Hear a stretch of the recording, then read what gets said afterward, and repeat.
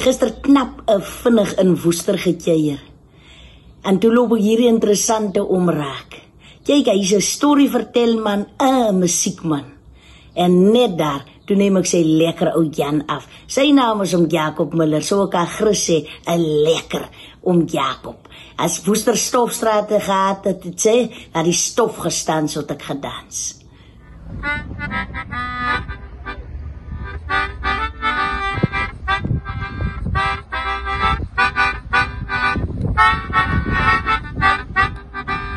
Als mensen op zulke lekker muziek afkomen, voel het ons alsof we mensen wel samenspelen.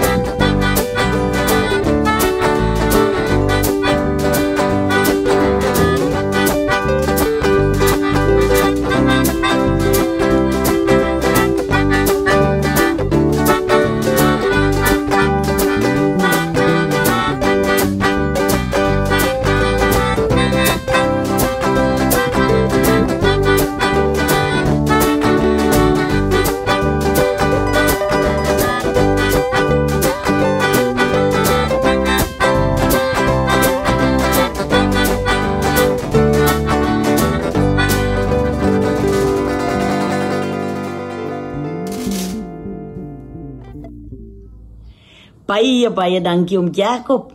Op die stoep groete. Tot volgende keer.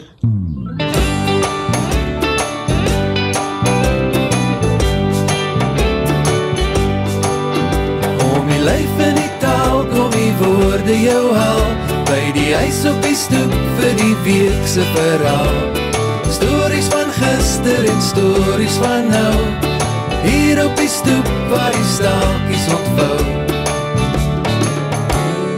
Hier op die stoep